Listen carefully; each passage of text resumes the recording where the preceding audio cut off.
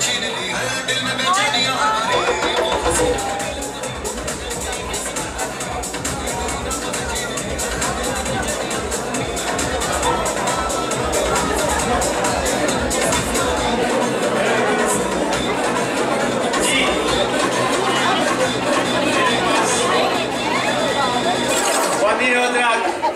मेरे पास खबर आई है कि हमारी बच्चियाँ भी कुछ डांस करना चाहती हैं।